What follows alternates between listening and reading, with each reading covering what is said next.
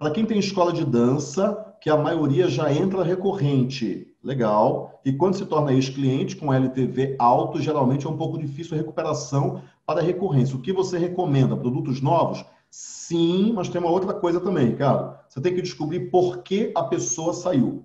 Essa é a principal pergunta, lembra? Recorrente, comprou primeira mensalidade, segunda, terceira, quarta, bom, saiu na quinta. Opa, peraí. Por que você não comprou de mim?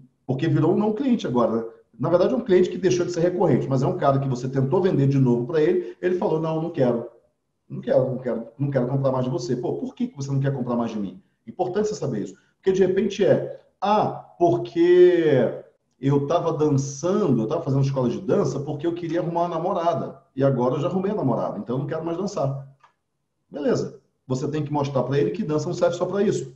Ou então, eu torci o tornozelo, torci o tornozelo correndo, eu não posso dançar. Tá, então daqui a dois meses, três meses, ele vai poder voltar a dançar.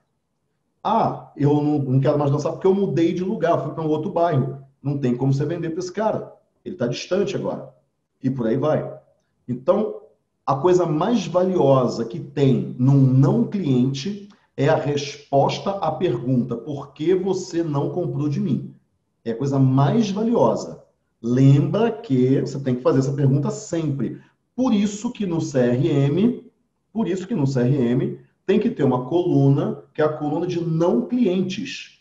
Quando você tem a coluna de não clientes e o teu vendedor coloca lá, esse cara que não comprou, falou que não quer, tem que ter porque ele não comprou, que é a objeção. E aí, quando você pega essa objeção, você cria um conteúdo, um parágrafo, uma maneira de falar para quebrar essa objeção e a partir daí você quebra essa objeção nos próximos quase clientes. Tá? Então tem uma maneira de você fazer isso. Né? Você quebra a objeção dos próximos quase clientes. Porque esses quase clientes agora, você vai reforçar o caminho do sim e você vai enfraquecer o caminho do não.